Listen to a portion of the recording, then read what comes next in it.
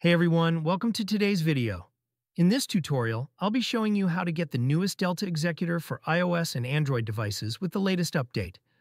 With this mod, it's a download from a direct link without the need for e-sign or a computer.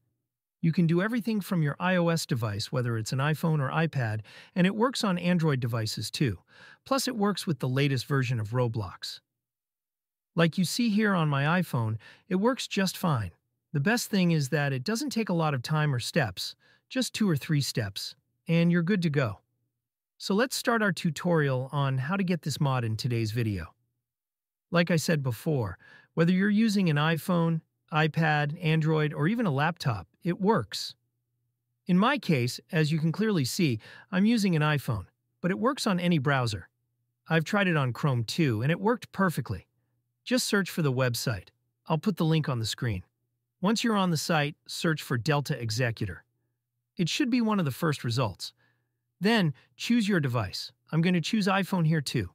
Click the download button, and it should start downloading automatically.